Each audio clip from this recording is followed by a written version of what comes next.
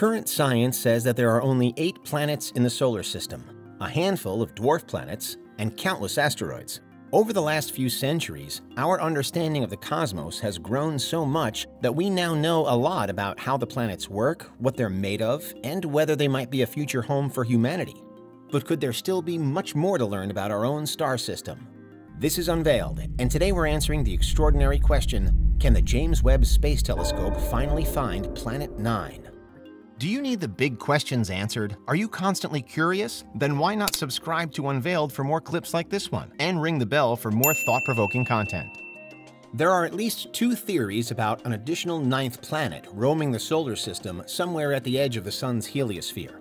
The first, Planet 9, is proposed by scientists to explain certain eccentricities and abnormalities in the orbits of the outer planets and the many trans-Neptunian objects.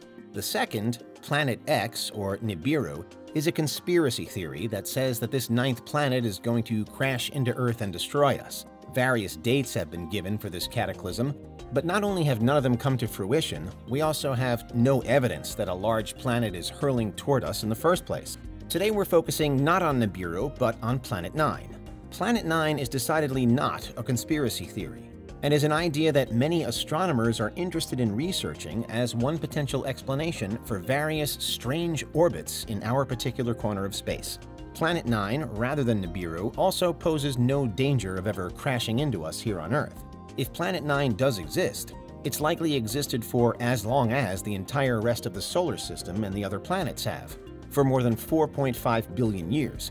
It hasn't threatened us yet, so it's unlikely to do so in the future. But that doesn't mean that it's not deeply interesting, or that our quickly developing tools for scientific research couldn't one day find it. On Christmas Day 2021, NASA finally launched its expensive and much delayed space telescope, the James Webb. It's the most powerful space telescope we've ever built, and is NASA's new flagship, replacing the Hubble Space Telescope. Hubble is still operational and still quite capable of conducting plenty of research on its own, but we now have Webb to study objects and areas of space in far greater detail than ever before. Both telescopes, though, have the benefit of seeing in infrared. This means that they're designed to capture light from the infrared end of the electromagnetic spectrum and to translate that light into images. Without that process, infrared light is invisible to the human eye because it's beyond the visible light spectrum. But plenty of objects in outer space emit infrared rays, including cooler objects like red and brown dwarfs, cosmic dust, and even some planets. Closer to home, we can use infrared to study objects we already know about, but in new ways, such as in 2022, when Webb produced some stunning infrared images of Jupiter, showing the planet's polar auroras. The thinking is then that if it can capture Jupiter in never-before-seen detail, then it could also be the best tool to definitely prove the existence of Planet 9. But just what sort of evidence already exists to support the ninth planet theory? In 1930, Clyde Tombaugh discovered Pluto, thought for decades to be this mysterious ninth planet. It was thought that Pluto could explain apparent perturbations in the orbits of Neptune and Uranus.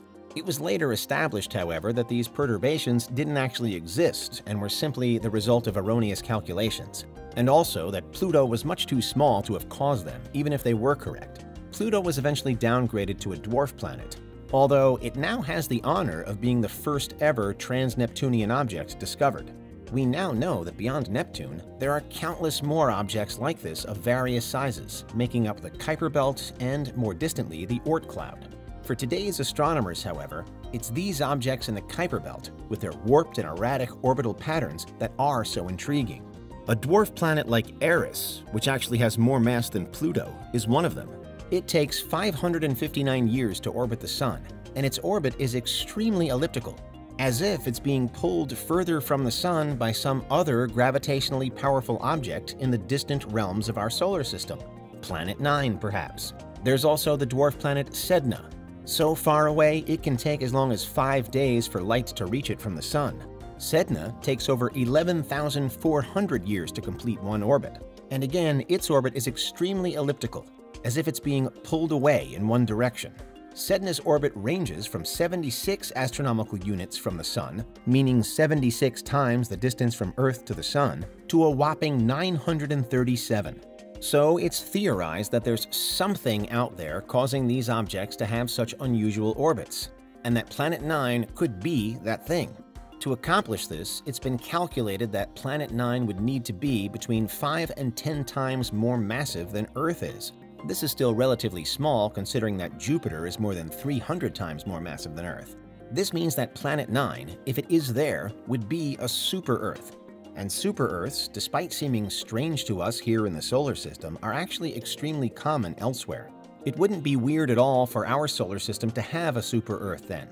However, its projected size and distance would make it very difficult for us to find.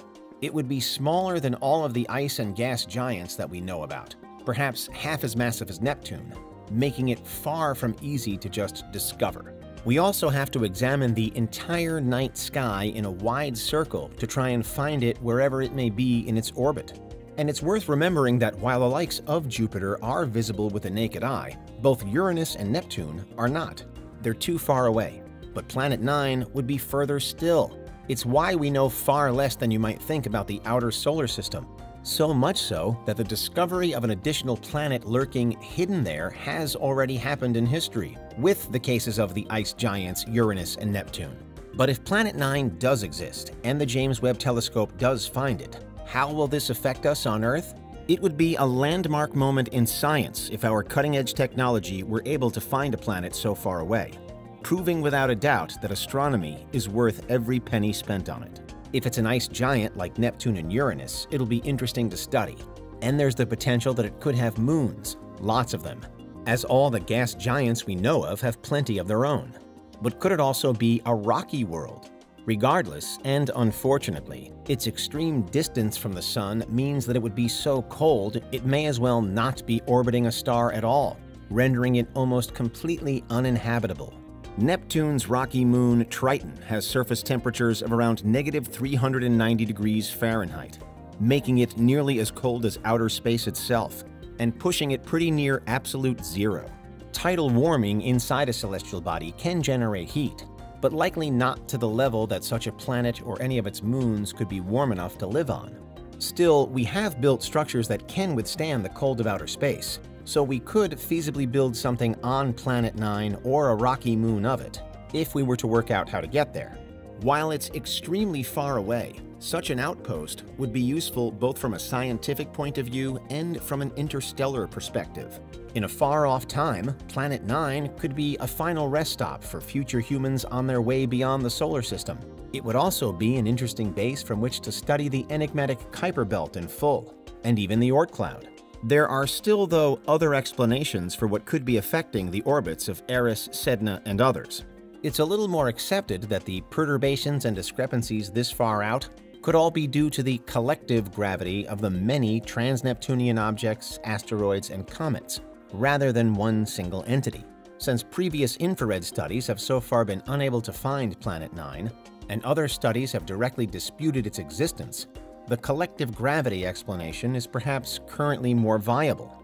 But then again, no single mission has ever had the potential to rewrite the story quite like the James Webb Space Telescope does. If Planet 9 is really out there, then this is a machine that's more than capable of finding it, and perhaps someday soon, and that's why Webb could find Planet 9. What do you think? Is there anything we missed? Let us know in the comments. Check out these other clips from Unveiled, and make sure you subscribe and ring the bell for our latest content.